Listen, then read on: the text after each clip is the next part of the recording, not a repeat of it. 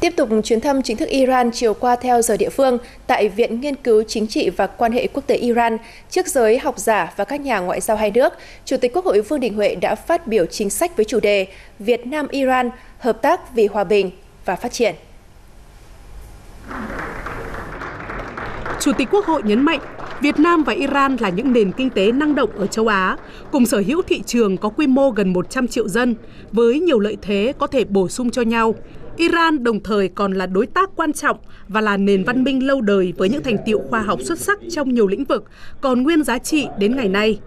Chia sẻ về những thành tiệu Việt Nam đã đạt được sau 37 năm đổi mới, Chủ tịch Quốc hội cho biết có 3 bài học được rút ra từ thực tiễn. Đó là tập trung thực hiện các đột phá chiến lược về hoàn thiện đồng bộ thể chế, phát triển nguồn nhân lực và xây dựng hệ thống kết cấu hạ tầng đồng bộ hiện đại. Thực hiện nhất quán đường lối đối ngoại độc lập, tự chủ, hòa bình, hữu nghị, hợp tác và phát triển, đa phương hóa, đa dạng hóa, chủ động và tích cực hội nhập quốc tế toàn diện sâu rộng và có hiệu quả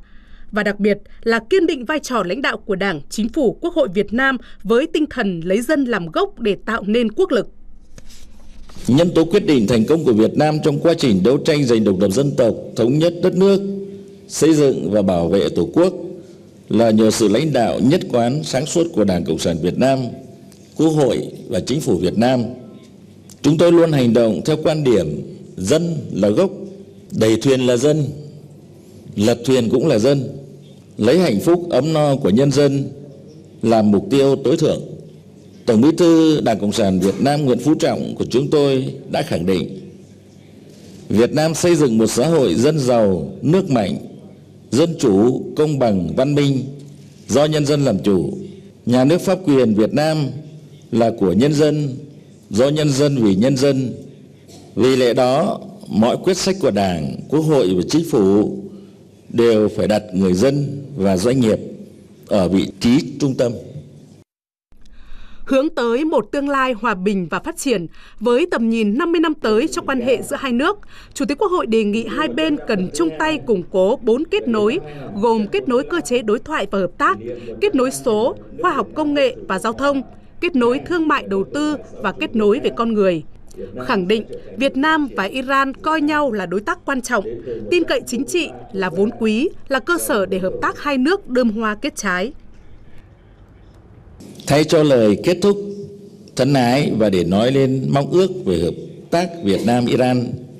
trong một thế giới hợp tác vì hòa bình và phát triển, tôi nghĩ không có lời nào có thể sánh bằng những vần thơ đầy xúc sắc và nhân văn của đại thi hào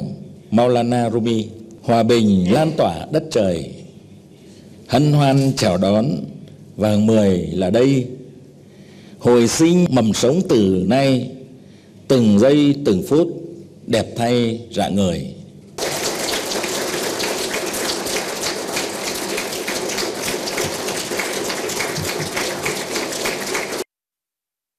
Chia sẻ với các học giả Iran, Chủ tịch Quốc hội cho rằng hòa bình, hợp tác phát triển vẫn là xu thế chủ đạo. Dù thế giới có thay đổi như thế nào, thì điều bất biến của mỗi nước vẫn phải là tự lực tự cường, tăng cường đoàn kết, tạo ra sức mạnh tập thể mới có thể đương đầu với những rủi ro thách thức từ bên ngoài.